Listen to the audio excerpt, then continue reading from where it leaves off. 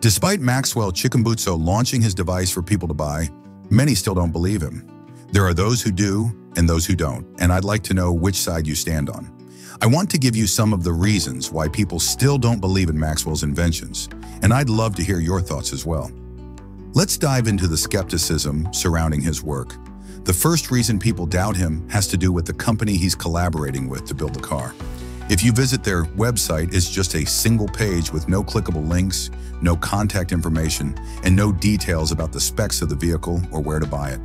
For a company that claims to have products on the market, this is somewhat fishy. However, it's possible they're not focused on their website and prefer direct communication with buyers. You can reach out to them via Instagram where the Saith group is active. Maybe they're working on a better website, and we hope to see more information about the specs, pricing, and availability soon. But for now, the lack of transparency raises eyebrows.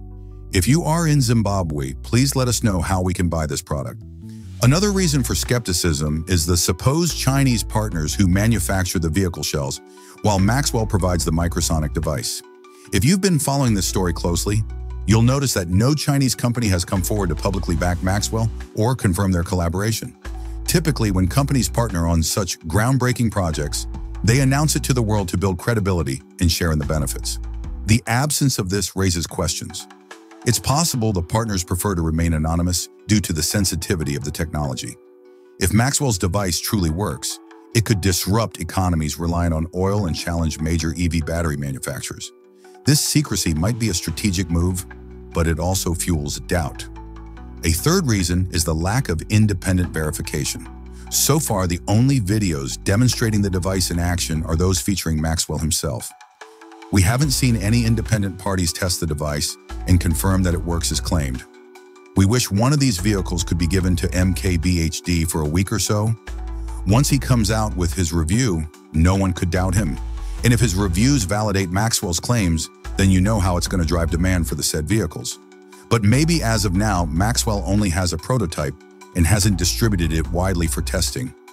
As more devices are sold to clients, we might see more evidence emerge. But until then, the absence of third-party validation leaves room for skepticism. The scientific community has also raised concerns about the feasibility of Maxwell's invention. Theoretically, it's impossible to harvest enough energy from radio waves to power a car reaching speeds of over 200 kilometers per hour. This contradicts the first law of thermodynamics, which states that energy cannot be created or destroyed, only transformed. Maxwell's device appears to generate more energy than it takes in, which defies this fundamental principle. However, it's possible that Maxwell has found a way to work around this issue. Maxwell has not provided a clear explanation of how his technology circumvents this principle.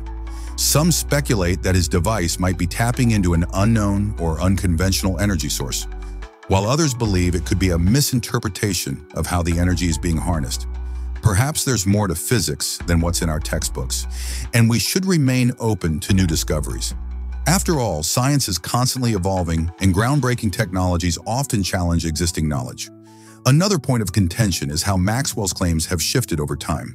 In 2013, he initially stated that his device generated power from the air, now he describes it as harnessing radio frequencies for energy production.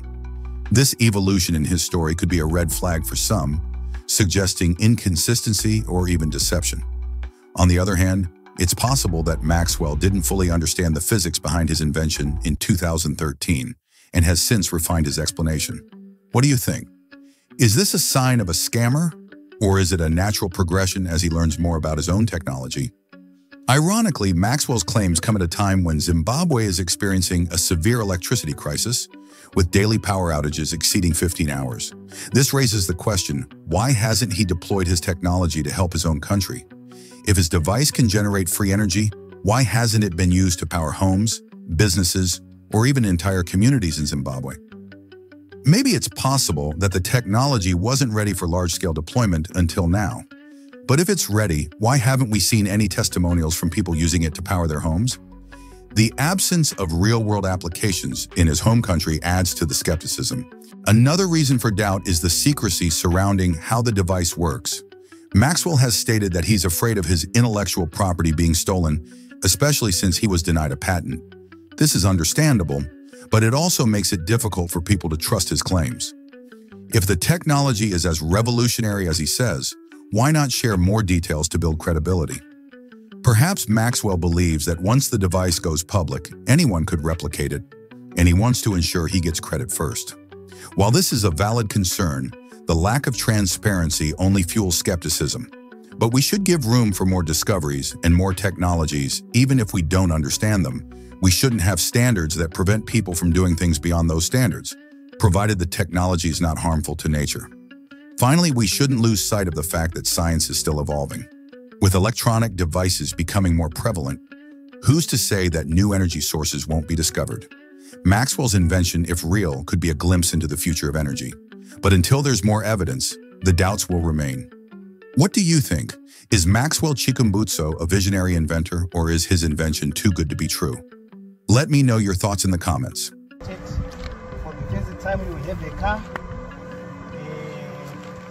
Which you can also use to power your house or your tools wherever you go to work. The reason we put it in the glass, we don't. We wanted you to see that. I saw that there a lot of people. They said "There- there's solar panel. Yeah, there's. I'll get to that. You can see it's not connected to anything. It's okay.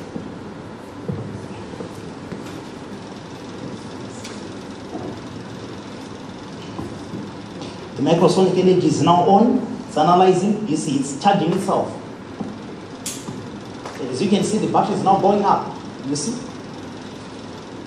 This device can last for 20 years. We are privileged that we are the first people to have you destroy the microsonic device, both on the software and the hardware. That's how we are protecting the technology because we couldn't get a patent on ways on how to protect the technology in the event that we lose it. For example, we go in a country, we set up a power station, there is a hostile takeover, we're kicked. How do you protect our technology? That's why we took the trade, the trade secretary route. Our patent is kept, our, our design is kept, the recipe is kept in three countries, and uh, the people who are keeping it, they don't even know each other. The second thing, we try to protect the hardware side because if the engineer remove like a second board, you can trace, you can see that this is a rectifier, this is a, um, mi- microchip. So we put a small amount of a det- detonator to say, but that cannot harm anyone. But if you just try to tamper with it, you blow it. That's part of the second board. Also on the software, if someone can have the source code, he can try to do reverse engineering. So we work on a on an algorithm that if you tamper with certain wires on the vehicle, you are going to destroy the microsonic energy device. Yeah. So you can't tamper. You cannot tamper with it. If you tamper with it, then you lose your your investment. Question, what would be the market price? Uh, right now, we're still doing costing. I think before the end of this week, we have the final costing, but it's going to be cheaper. That I will, I can. Uh, So what? Which products do you have on the market? The, the car, the, the, are the batteries on the market? the greener power grid machines are on the market. The TVs are on the market. The bikes are on the market. The cars as well, they are on the. So when you say on the market, where would where would one buy one? Yeah. So if you wanted to buy a battery, where would you go? Right now, we're doing. Uh, I think you saw the company that we partnered, like in Zimbabwe, which was uh, doing that video. That's our agile concentrating marketing. But right now, we are using the Tesla model, uh, the Tesla model, which we are using. That we don't want to have middlemen because the prices is be so high to the end users. So we're saying people they will buy straight from Saith in other countries, then they will get their products there. For example, we are setting up in Switzerland, so it is going to cover Europe and some parts of Europe. Then we have got other countries that will pick up in uh, like in Central Africa, East Africa, and Northern Africa, which will cover differently. So what's what's the maximum speed for this and for Listen and answers we can we're going there. yeah. It's encrypted.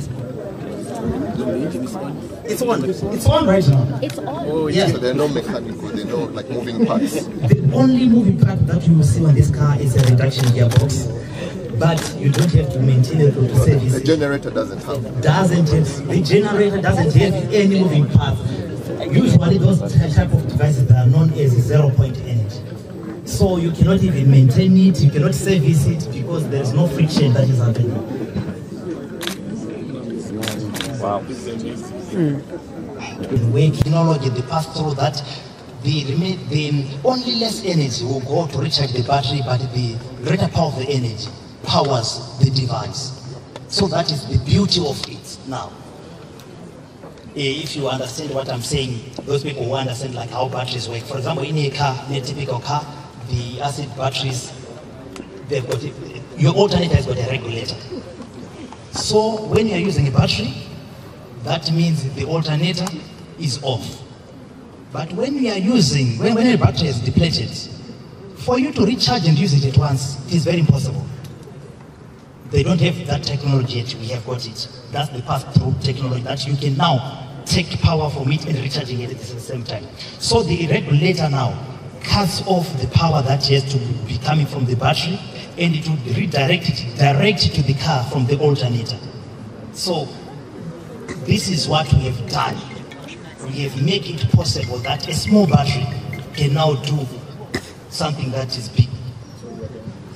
Then uh, on the car, I think we're going to demonstrate all the cars that you know. If you go to Kaya right now, all their cars, you have to plug in either a DC charging station or an AC charging station.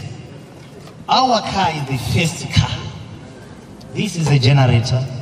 I think if you can go to the fridge, you can see he is going to plug in and you will see that the fridge is going to be powered by a car. Like I said, you can buy a car. You don't need to have a generator at your home. You use your car.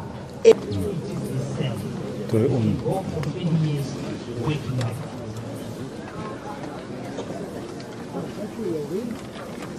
20 years working like that. Tukanda chalo.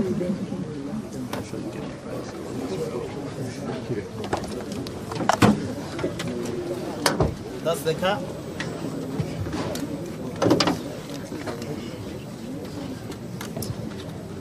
So the person who asked the question, you can come and see. So is the, the microsonic device? What we have done, like we said, the microsonic energy device is the invention that we have done and we are trying to protect it. We have embedded it in the vehicle. Yes. And it has got a self-destructive technology. On the 150 wires on this car, if you try to tamper with five of them, we will classify. You destroy the microsonic energy device, both on the software and the hardware. That's how we are protecting the technology because we couldn't get a patent.